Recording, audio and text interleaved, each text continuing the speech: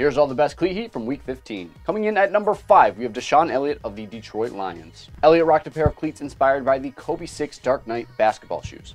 I love how Kobe basketball shoes look, and I think they look pretty darn good on the football field too. Coming in at number 4, we have Brian Burns of the Carolina Panthers. Brian Burns wore a super exclusive pair of blue Jordan 9 Pylon 7v7 cleats.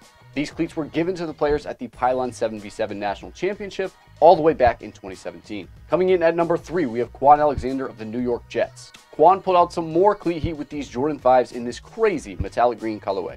Coming in at number 2, we have Kareem Jackson of the Denver Broncos. Kareem is on this list again, and this time he's wearing a pair of Foamposite inspired football cleats. He had them in a sweet orange and blue colorway, perfect for the Broncos. Coming in at number one, we have Stefon Diggs of the Buffalo Bills. Diggs rocked a pair of Jordan 5 Trophy Room inspired cleats in a snowy face-off against the Dolphins. He switched out of them after a couple drives, but still the coolest cleats of the week.